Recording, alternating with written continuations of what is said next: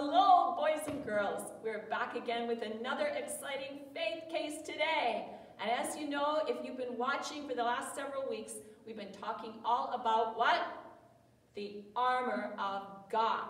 All right, and we know that the armor of God, by this time we should know, that the armor of God is the spiritual armor that God's people can put on, that God gives us, according to Ephesians 6, to protect ourselves against our enemy, our spiritual enemy, the devil, right?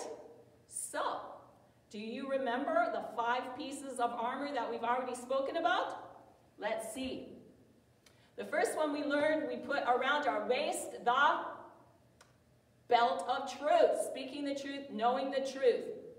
Then we put on, to guard our hearts, the breastplate of righteousness, right? We need to choose to do the right thing. Next, we put on our feet the shoes of readiness so we can take a firm stand against the devil. Next, we held up our shield of faith. We need to block the fiery darts of the enemy by trusting and believing, having faith in God. And last time, we had on our heads the helmet of salvation regarding our thoughts. And of course, for all of the armor, we need to have Jesus as our Savior. Okay, so what are we going to talk about today? Let's have a look at today's faith case. What's in here? Aha! I think you probably know what this is. This is a sword. A sword. A soldier needs a sword as his weapon, not only to defend himself against the enemy, but also to attack the enemy. Today we're going to be learning about the sword of the Spirit, which is the Bible, the Word of God. God's Word is not just a book with words in it. It is God's Word, and it is living, and it is powerful. The Bible says it's sharper than a double-edged sword. So we're going to learn today about the sword of the Spirit. And guess where our story is found? Our story is found in Matthew chapter 4, verses 1 to 11. That's the first book of the New Testament. And this story is also found in Luke chapter 4. All right? So, what's our story about today? Well, you can see right here who our two, two people as part of our story are. We've got here, over here is the devil, okay? And over here is Jesus. And this story is a battle, a spiritual battle between the devil and, and Jesus. All right? Now, before we get into the story, I need to tell you what this is really all about. Anybody ever gone fishing? Or maybe you know something about fishing. What happens when you go fishing? You want to catch fish, you put something on the end of the line that's going to attract the fish. It's going to be some kind of a lure or some kind of bait, right? And you're going to put your line in the water with this lure or bait, and the fish are going to be attracted to it, take it, and then you've caught the fish. Well, that's what the devil does to us, and that's what he's going to do in this story with Jesus. All right? He puts something out, some temptation. That's what temptation is about putting something out that we want, and then when we go after it, he reels us in and makes us do something that's wrong, gets us to sin. And that's what temptation is all about, and that's what's going to happen in our story today. So Jesus here, Jesus is, is preparing to do the work that God the Father sent him to earth to do. This is where we are in the story. And now he has just been baptized and he wants to prepare himself for all of the work that, that God the Father had sent him here for. And so now, as he's baptized and he's preparing himself spiritually, the Holy Spirit leads Jesus into the wilderness. And he's fasting to prepare himself, which means he's not eating anything. And Jesus was like this for 40 days. Can you imagine not eating any food for 40 days? Wouldn't your stomach be growling? Right? Well, that's where Jesus was at at this point. And he was probably maybe even lonely because he hadn't seen anybody, anybody for 40 days. That's well over a month. Can you imagine? Well over a month. He hasn't seen anyone, hasn't eaten any food. So he's going to be very, very hungry, right? Well, just at that weak point, that weak point, this is when the devil comes and tries to tempt him to get Jesus to sin. All right? So that's where we are. So now he's weak, he's hungry. The devil comes to him and he goes, Hey, you're the Son of God. If you're the Son of God, uh, these stones, these stones here, because this would be the only thing that would basically be in the wilderness, right? There's nothing else there. He says, Jesus, take these stones, if you're the Son of God, and, and, and, and turn them into bread. You're hungry. Come on. This would ease your, ease your hunger pains. Come on. Right? And so this is like the first wound or attack on Jesus that the devil made. So what do you think Jesus does? Think he gives in to the devil? Jesus takes up his sword of the Spirit, right, Jesus? You have your sword of the Spirit, and he's going to use the word of God to attack the devil. And he says, no, no, no, no, I'm not going to, I'm not going to turn these stones into bread. No. That wouldn't be a good idea at all. Because, first of all, this is what is written in the Word of God. It says, Man shall not live by bread alone, but by every word that comes out of the mouth of God. So, what is he saying here? No, I'm not going to rely on myself. I'm relying on God the Father to provide for me. And this wouldn't be good to use my power that I can, I can use for myself like this. So he says no. He has just used the, the word of God. And this is a big attack on the devil. Now he's got a bigger wound than Jesus, doesn't he? Right? Okay. Now do you think the devil goes away now? Not a chance. He doesn't leave. He comes with something else. He comes and he says to Jesus, well, in fact, he's, he's going to come like this.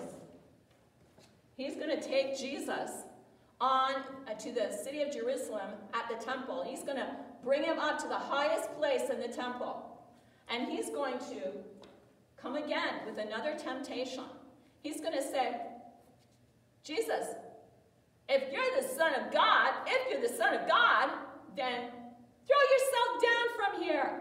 Because it is written that he will give his angels charge over you, and they will hold up your hands so your foot doesn't, doesn't strike against a stone. Well, what does that mean? Well, that's a quote from the Psalms that the devil just gave. So here's another hit for Jesus, right?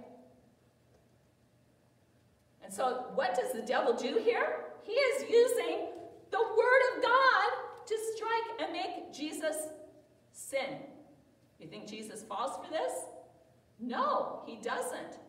It would be if Jesus just hurled himself off this temple here, it would be like us being in an airplane and saying, I think I'll jump out of the airplane. God will protect me. No, that is trying to test God. And Jesus knows this. And even though the devil is using the word of God against him, he is not using it the right way. So Jesus takes the sword of the Spirit and he attacks the devil. And he says, the word of God that you use, on the other hand, the word of God also says, it is written, you shall not tempt the Lord. So this is a big blow to the devil.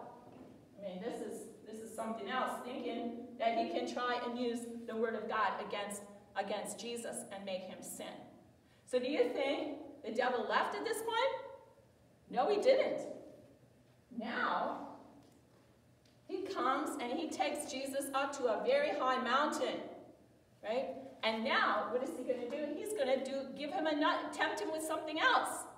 And he says, when you're up on the mountain, Jesus, you can see all the kingdoms of the world, all the towns in the world and the city, and this can all be yours if you bow down and worship me. My goodness, that is something else, isn't it? And Jesus he says, mm, mm, mm, I'm not doing that.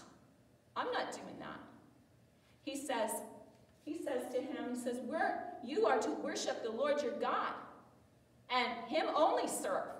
So he's quoting again from Deuteronomy in the Old Testament. He's using the sword of the Spirit again against the devil, right? Jesus is not going to fall for that. Now, this one was a really big one that really wounds the devil. And he says to the devil, Get away, Satan! So Satan, Satan flees. He's gone. So this is a victory for Jesus. So everybody say yay to, for Jesus. Hey, yay! He's the victor here. He didn't give in to sin. And we don't have to either, right? Because the Word of God, the sword of the Spirit, the sword of the Spirit is powerful. And I wanted to show you some little trick here. Now, we're going to pretend, I hope you can see this, this is water on this plate. And the water is going to represent my life and your life, okay? Now,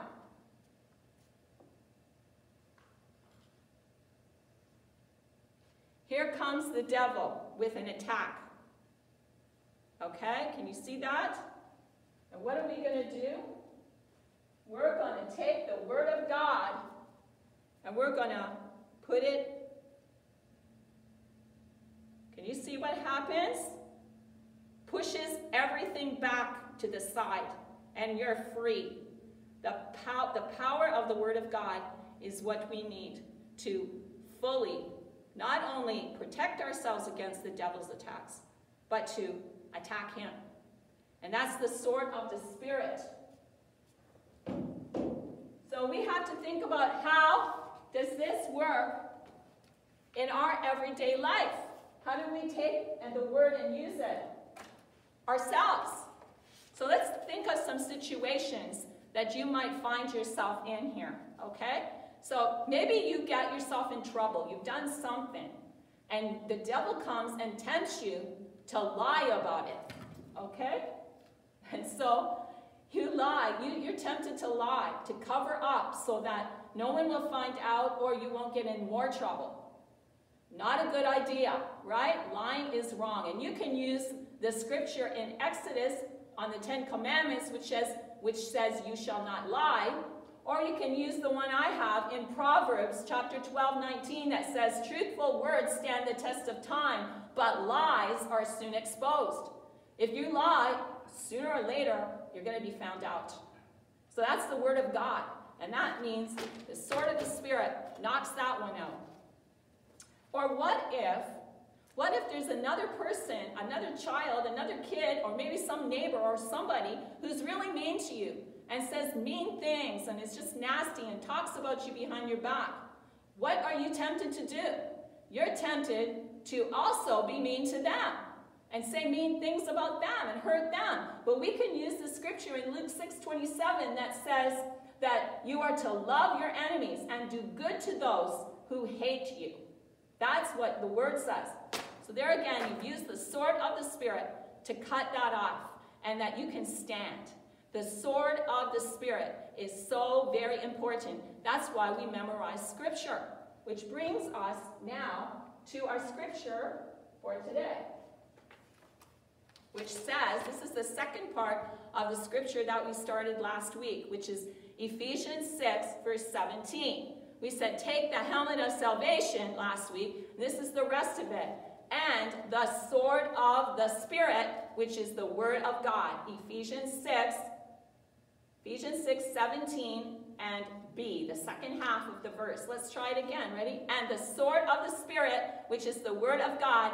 Ephesians 6, 17, B. Important to know the word of God and know how to use it. So let's pray and let's ask Jesus, ask the Lord to help us to know our Bible, to get into our Bible, to learn the Bible, that we can stand up and use the sword of the Spirit. Okay? Let me pray. Father, I thank you for every boy and girl that's listening today.